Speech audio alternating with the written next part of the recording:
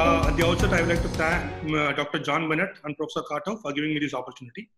A big hi to my friends Dr. Raja and Dr. Gautam. Uh, without much delay, I will go ahead with my presentation. This was a study which I carried out during my fellowship in Fujita. This is basically use of our protocol of multimodality tools in the safe clipping of unruptured anti-circulation aneurysms.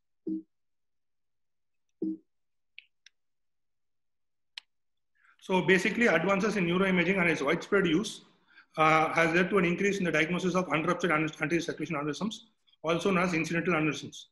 But the management per se is quite controversial. So uh, the UCAS study in Japan showed that apart from the size, location, and shape, there are other factors which are very much important, which are basically, finally they came to a conclusion that the risk for rupture was significantly higher if the aneurysms were 7 mm or larger, or the location was very important. That is, if they were in the ACOM or in the ICPC location, or when they had a daughter sac as independent risk factors. So these risk factors predicted that apart from size, location, and um, the aneurysm morphology also plays a role in their uh, rupture rate. So in our study, we, uh, we used a protocol basically of using multimodality tools, namely indocyanine green with DIVA. I will just explain what DIVA is. DIVA is basically dual, dual image video angiography, which is real-time uh, imaging using, and the, the, same dye is used, but the uh, imaging is in real time so that the anatomy is much clearer when compared to an ICG, which is just a black and white uh, screen. Then we use a neuroendoscope, a zero, a zero degree endoscope, and neuromonitoring MEP is used in all cases, and micro Doppler is used in selective cases.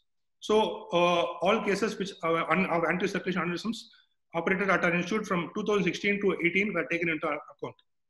So basically, we assessed outcome at immediate post-op, at discharge, and at three months of follow-up by defining permanent morbidity as a drop in MRS by one at three months follow-up and transient morbidity as temporary deficit which improved at the time of discharge.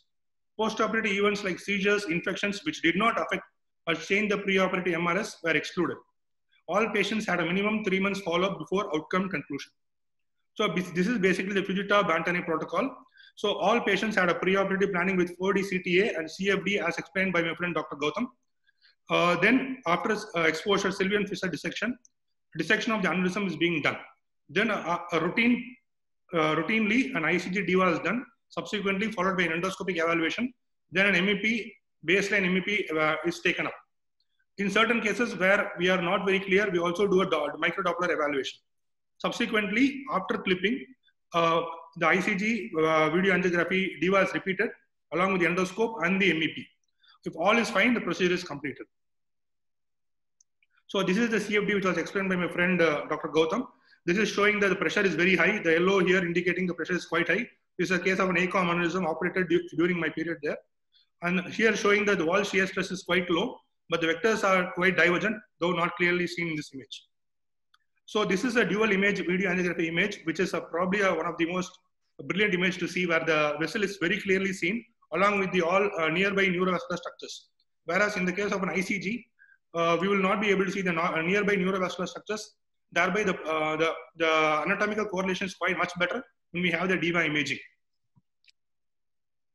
So uh, here is an illustrative case where figure A shows an aneurysm of the internal carotid artery, uh, then subsequently an ICG image, and subsequently a DIVA image showing the aneurysm with uh, the same dye is used, but the optic nerve and the nearby neurovascular structures are very well seen.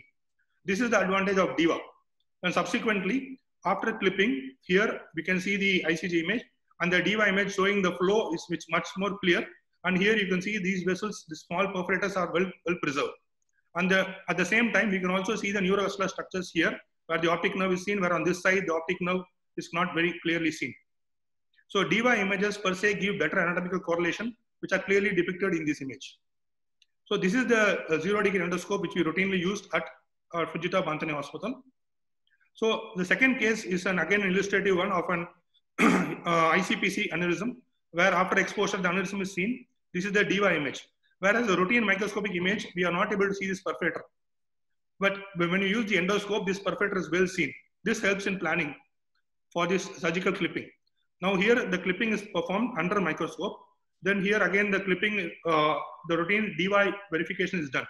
But here we use endoscopic to confirm that the clip is not uh, included the perforator, thereby preserving the perforator, which is a very vital step. So endoscopic view is showing that the uh, PCOM is preserved with complete obliteration of the aneurysm. So this, I think, which, are, you know, which is very important adjunct using the endoscope, thereby we can be very sure that we have not clipped uh, a small perforator or a small, very so-called uh, not very important perforator. But in this case, we can see it's well preserved. Another thing is that when this is done, the, on all these patients are basically unruptured patients who come walking to the OPD. So it's very important that they walk out with no morbidities or any uh, sequelae. So this is the demographic data of the last three years, uh, with, a, uh, with MCA being the most common, subsequently uh, followed by the ACOM. So this is the year-wise summary. In 2016, a total of 98 cases were operated, uh, in uh, majority being MCA, followed by ICPC. There was a drop in MEP in one case with no symptoms, and uh, seizures in one case post-operatively. There was a drop in MEP in, in a case of ICPC, with the patient had a transient hemiparesis, which improved at the time of discharge. And the transient third nerve palsy in one case. This was the 2017 data, where a total of 119 cases were operated. Again, MCA being the most common, followed by ICPC. This was the 2018 data, where a total of 130 cases were operated, which again MCA being the most common, followed by ICPC and IC ophthalmic. Seizures were seen in the post-operative period in three cases. Transient aphasia was seen in ICA case. So in total, the 2016, a total of 98 cases were operated, with female sex being the most common. Most common was an MC aneurysm followed by ICPC. The mean size was 4.8 with no morbidity or mortality or permanent morbidity. Only transient morbidity was seen in two cases, that is 2.4%. Again, in 2017, a total of 119 cases were operated with MCA1 being the most common. The mean size was 6 mm with no morbidity or mortality. In 2018, a total of 130 cases were operated with MCA being the most common. The mean size 5.1 with no mortality or permanent morbidity, only in transient morbidity in 0.7%. So this is the uh, gross sum, total summary. So in, in, the from 2016 to 2018, a total of 218, uh, 347 cases were operated with a transient morbidity of 0.9% with nil uh, permanent morbidity and nil mortality. so uh, summarizing, the mean size was 5.3 in all these cases. There was no mortality or morbidity, only transient morbidity in 0.9%, 0.9% of the cases. So during the initial part of the study, MEP monitoring was done in all, on a selective basis. Subsequently, as the protocol evolved, we have used it in all the cases as mentioned above. Now it has become a routine for all cases. All cases had suture removal done on the 7th postoperative day, and the average hospital stay was 12 to 14 days. So the goal of aneurysm surgery is to achieve satisfactory clipping such that there is no residual filling of the aneurysm. At the same time, without distal branch or perforator occlusion or parent vessel stenosis. As aneurysm remnants have the potential for regrowth and hemorrhage, whereas clip occlusion of the parent artery or small hidden perforators can lead to permanent devastating neurological deficits. Thus, preserving flow in these branches and perforators of the parent artery is of important, very important for a successful aneurysm surgery. So we believe our protocol, which has evolved over a short period of time, provides all the vital information to the operating surgeon, thereby aiding in quicker and better decision making to, to make microneurosurgical clipping safe, thus consistently resulting in satisfactory operative outcomes and achieving the goal of aneurysm surgery. So in our center for most unruptured anti-circulation aneurysms, microsurgical clipping is a treatment of choice. We believe our protocol of intraoperative usage of multimodality tools have aided in the safe microsurgical clipping and has consistently resulted in good operative outcomes. So we recommend our Fujita Bantane protocol in all cases of microsurgical clippings to consistently achieve good operative outcomes. So this was me during my fellowship assisting uh, Professor Kato. This was me again with Professor Kato and Professor Takizawa. The same paper was published in the AJNS for further references. Thank you. Okay, thank you very much, Satish. Excellent presentation. Uh, comments or questions from? Uh, let me get you off the. Let me get you off the screen share there, Satish. Uh, hold on. Okay. There you go. Okay. Any questions or comments from from uh, the panelists? I have a I have a comment. Go ahead.